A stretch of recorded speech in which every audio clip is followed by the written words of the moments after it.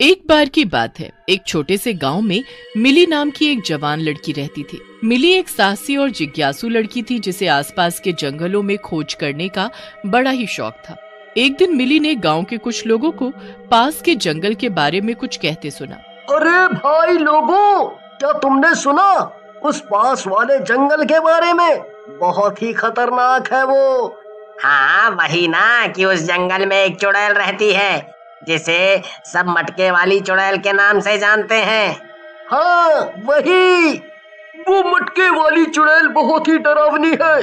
सुना है उसके पास एक बहुत बड़ा सा मटका है जो भी उस जंगल के नज़दीक से गुजरता है उसे वो पकड़कर अपने मटके में बंद कर लेती है। हम्म। गाँव के लोगों की बात सुनकर मिली फ़ौरन अपनी माँ के पास भागी चली जाती है उनसे चुड़ैल के बारे में और जानकारी लेने। माँ को ज़रूर पता होगा उस चुड़ैल के बारे में। मुझे और जानना है उस मटके वाली चुड़ैल के बारे में। जाकर पूछती हूँ माँ से। घर पहुँच कर माँ, जल्दी आओ इधर। और मुझे उस मटके वाली चुड़ैल जो जंगल में रहती है, उसके बारे में कुछ बताओ। मुझे जानना है। जल्दी बताओ। नहीं बताऊँगी। बिल्कुल भी नहीं बताऊँगी। मुझे पता है कि मेरी बेटी कैसी है। उसे तो हर वो चीज़ जानने की इच्छा होती है, जो रहस्यमय और गजब होती है। इसके बारे में तुम अब कोई भी बात नहीं करोगी, और न ही उस जंगल के आसपास भी जाओगी। माँ ने मिली को खूब डांट लगाई और उसे मना भी किया चुड़ैल के बारे में बात करने के लिए, पर वो तो मिली थी। कहाँ मानने वाली थी? इसलिए चुपचाप किसी को कुछ बताए बिना निकल पड़ती है जंगल की ओर, मटके वाली चुड़ैल के बारे में जानने। मिली को जंगल जाने से बिल्कुल भी डर नहीं लगता, बल्कि वो तो बहुत खुश थी। आज तो मैं उस मटके वाली चुड़ैल से मिले बिना नहीं जाऊँगी, चाहे वो मुझे खाई क्यों ना जाए। मैं किसी से नहीं डरती। कुछ दूर चलने के पश्चात मिली को एक टूटा फूटा खंडहर दिखाई देता है। मिली बड़ी ही जिज्ञासा के साथ उस खंडहर के अंदर घुस जाती है। तभी उसकी नज़र एक बड़े से मटके पर पड़ती है। इतना बड़ा मटका? मैंने इतना बड़ा मटका आज तक नहीं देखा। किसने रखा होगा यहाँ? और इस मटके के अंदर आखिर क्या होगा? मुझे देखना है आखिर इस मटके के अंदर क्या है। क्या पता इसमें कोई खजाना वजाना हो? जैसे ही मिली एक कदम आगे बढ़ाती है, तभी मिली को मटके के अंदर से लोगों के चीखने और चिल्लाने की आवाज़ें सुनाई देने लगती हैं। इस मटके के अंदर से तो इंसानों के चीखने की आवाज़ आ रही है। इसका मतलब इस मटके के अंदर वो चुड़ैल इंसानों को पकड़कर बंद करती है। मुझे इन सबको बचाना होगा और इस मटके से बाहर निकालना होगा। मिली जैसे ही मटके के नज़दीक जाती है, तभी पीछे से चुड़ैल आ जाती है। रुक जा लड़की, इस मटके को हाथ लगाने की जरा भी कोशिश मत करना। मैं तुमसे नहीं डरती। क्योंकि मैं एक बहादुर और साहसी लड़की हूँ। तुम वही मटके वाली चुड़ैल हो ना जिसके डर से पूरा गाँव थर थर कांपता है? तुम उन मासूम लोगों को अपने इस मटके में क्यों बंद करती हो? इन्हें आज़ाद करो अभी के अभी। हम्म तुमसे मिलकर मुझे बहुत खुशी हुई, क्योंकि मैं इस मटके में उन्हीं लोगों को बंद करती हूँ जो ईमानदार, साहसी और साफ़ दिल के होते हैं। चुड़ैल की बात सुनते ही मिली कोने में रखा एक डंडा उठा लाती है और मटके को फोड़ने ही वाली होती है कि तभी चुड़ैल मिली का हाथ पकड़ लेती है और बड़े ही धीमी आवाज़ में मिली से बोलती है, मत फोड़ो इस मटके को। अगर तुमने इसे फोड़ दिया तो मुझे मिला हुआ श्राप कभी मुझ पर से नहीं उतरेगा। श्राप? कैसा श्राप? बताओ मुझे तुम्हें श्राप कैसे मिला और किसने दिया तुम्हें श्राप? मुझे सब जानना है। मेरा नाम सुरभि है और ये कहानी सालों पहले की है। मैं भी तुम्हारी तरह एक साधारण लड़की हुआ करती थी। मैं बहुत शरारती थी। मेरे बाबा एक तपस्वी थे। तपस्वी होने के कारण उन्हें कई वरदान मिले हुए थे, क्योंकि वो हर समय सिर्फ़ अपने गुरु की तपस्या में ही लगे रहते थे। मेरे बाबा के पास बहुत सी शक्तियाँ थी। बाबा वो शक्तियाँ सिर्फ़ गरीबों के भले के लिए इस्तेमाल करते थे। एक दिन बाबा ने मुझे भी कुछ शक्तियाँ प्रदान की, लोगों की भलाई के लिए, पर मैं बहुत शरारती थी। इसलिए मैंने उन शक्तियों को लोगों की भलाई के लिए नहीं उन्हें सताने के लिए इस्तेमाल किया। मैंने एक बहुत बड़ा सा मिट्टी का मटका बनाया और सालों पहले की बात। सुनो सुनो सुनो जल्दी सब लोग सुनो। देखो मुझे क्या मिला है। मुझे खजाने से भरा एक मटका मिला है। खजाने से भरा मटका? कहाँ है? कहाँ है मटका? मुझे भी दिखाओ वो खजाने से भरा मटका। वो रहा देखो तुम्हें जितने गहने चाहिए उतने ले सकते हो उसमें से पर ध्यान से वो मटका बहुत बड़ा है, इसलिए रस्सी की सहायता से ही तुम उसके अंदर जा सकते हो। आसपास खड़े लोगों ने सुरभि की बातें तो सुनी, पर उसकी बातों पर किसी को कोई यकीन नहीं हुआ। उस भीड़ में बस एक रघु ही था, जिसे सुरभि की बातों पर यकीन हुआ। इसलिए सिर्फ़ रघु ही रस्सी लेकर उस बड़े से मटके के पास पहुँच जाता है। जैसे ही रघु रस्सी की सहायता से उस मटके के मुँह तक पहुँचता है, तभी सुरभि अपनी शक्ति का इस्तेमाल करती है और रघु को दूर से ही मटके में धक्का दे देती है।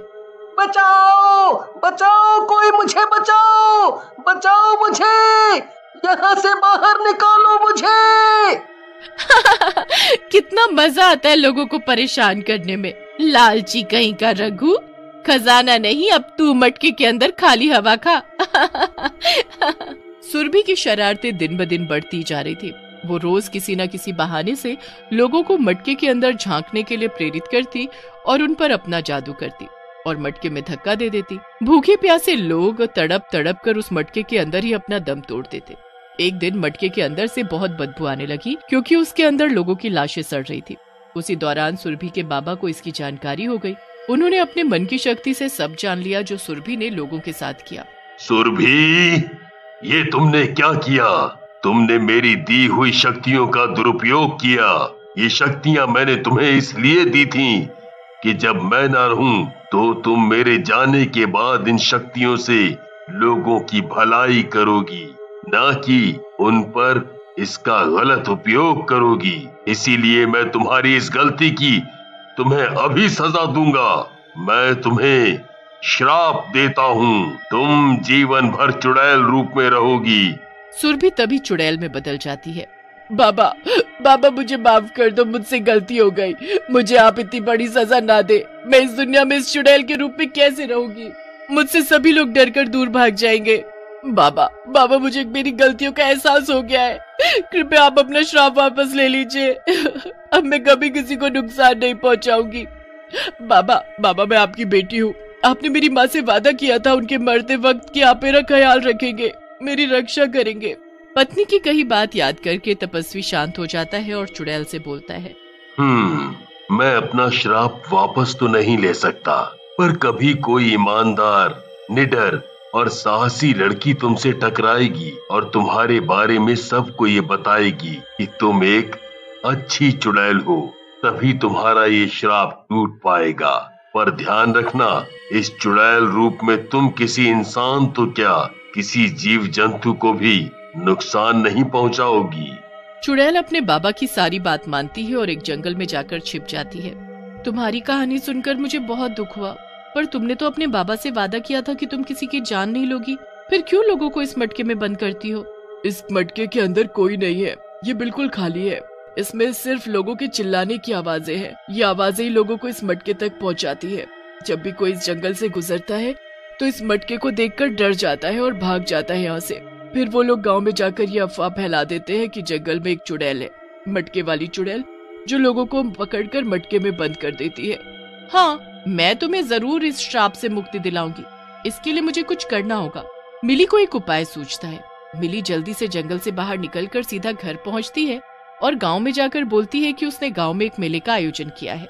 अगले दिन सुबह सुबह जब सभी लोग जाग जाते हैं और गाँव के अंदर मेला देखते हैं तो बहुत खुश होते हैं। और फ़ौरन अपने परिवार के साथ उस मेले में पहुँचते हैं। मिली बिटिया ने इस गाँव में मेले का आयोजन करके बहुत अच्छा किया। सालों बाद मेला देखने को मिलेगा अब। हमारे बच्चे कितने खुश हैं, देखो जरा। चलो हम सब भी चलते हैं मेले में और मेले का भरपूर आनंद उठाते हैं। पूरे गाँव भर में मिली की खूब तारीफ़ होने लगी।